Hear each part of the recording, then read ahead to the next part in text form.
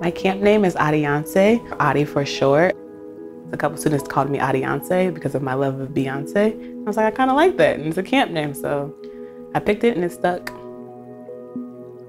So I came to Caldera a different route than most people. I started through an organization called Haven Project. And after that organization ended, camp director at the time, KK, she invited us to come back as campers. So I started immersion in 2005. Was just a great experience because I started meeting a lot of people. When the Haven Project, it was all Portland kids. When I started coming to immersion, it was kids from Central Oregon as well. So I met some really cool people that I never would have met before. Addy and Asha, or Ulala, were really close friends. When I met them, Asha was in my um, teepee group, and Addy was actually in somebody else's TP group. But because they were really close, I got to know Addy pretty quickly. When I first met her, she was kind of quiet, reserved, and I just love to see that transformation of where she has changed, being someone very quiet and shy, um, and being like a supervisor, like leading a team of people. When I started Caldera, I started as a camper, of course. After I graduated high school, I came back and visited for weekends. And ever since then, I've come back in different roles as a junior advocate, also been an advocate, and now I'm an advocate supervisor. As long as I can remember, I liked working with youth and I liked helping people. Addy is a coworker, but also like a little sister. She's someone who I have both supervised and learned a lot from. I think having someone like her who has been a camper, who has been through the program, just seeing that as a mentor, that if she can do it, they can do it. Education is very important, and that could be part of the cultural too, you know, coming from Jamaica. That was just like number one.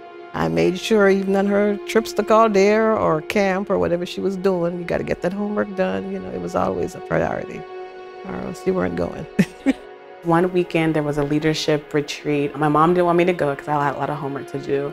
And so Magic and I convinced Esalen to let us take Addy on this leadership event if we promised she would study. And what it meant was that there was a drive back on a bus where we had to turn all the lights on so that Addy could study on the drive home. At the time, it was kind of annoying because I didn't want to do homework. But it was great because it just showed that there's such a connection with family and wanting the best for the Caldera students, whether it's art, through its school, just supporting in any way necessary. As long as I can remember, I said I want to go to Howard University. And I knew by Christmas that I was going to Howard with a full tuition scholarship. I didn't apply to any other colleges. My mom was so mad. She still wanted me to apply to Oregon School, and I was like, I'm gone. I'm sorry. So I applied for the Caldera Scholarship, and that helped me get through my four years of college. Physical therapy school was probably the hardest three years of my life, and there were times where I didn't want to continue. But people that I met here, like Blue, talked me through. It was the support to me. We came up with plans together to help me find self-care and get through those times. And I wouldn't have met Blue if I didn't come here. So her mom called me and said, like, I think it would be a good idea for you to meet with her. And Addy didn't want to talk with me, but I think she was having a really tough time and was really debating did she want to finish the program or was, was she going to be able to finish the program because it was so hard. And for Addy to say something is hard academically means it's very hard. she knew it would be hard and challenging, but it was just three years, 24 hours school. Now, there were times when she was like, I can't do this, you know. It was hard, but she she persevered. It was amazing to have Magic at my white coat ceremony. I honestly didn't expect anyone from Oregon to come because it's so far. It just showed how much she loves me and cares for me and supports me and it just wants the best for me. And it's amazing that I found that here at Caldera, someone who still cares for me like they're my own family member. There's been a lot of mentors you know, she has in this community, including Katie and Magic and Skills. I think campers look up to Addy, yes. They um, definitely can see her as a role model. And then I think for our students to be able to see that and see the what is attainable and, the, and not only that, but to see someone that looks like them, someone that grew up in the same place as them achieve that, it's pretty powerful. And she was always there to be like this role model for me. And she's inspired me to do so many things and like just be really strong. Addyoncé has supported me through a lot of things.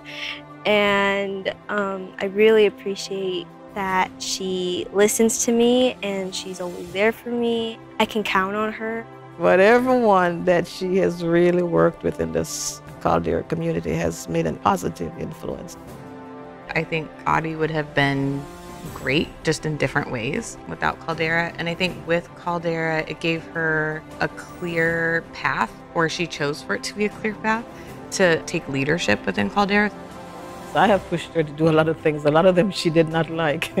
you know, the other programs she went and she came home and that was it. She didn't give 100%, but with Caldera, it's it's part of her life. I think Caldera gives kids the opportunity to show up and be at camp and really step forward and take risks and be their whole self and that they can inspire other kids by doing that. Some were similar to Caldera, but the, the uniqueness about Caldera is its family. It's there forever. That organization has really impacted her. The magic of Caldera is this land and the people that come here every year. They look out for you anyway, whether it's at Caldera, whether it's outside of Caldera, there's always a support system here. And just coming to the actual land of Caldera, it's such a freedom.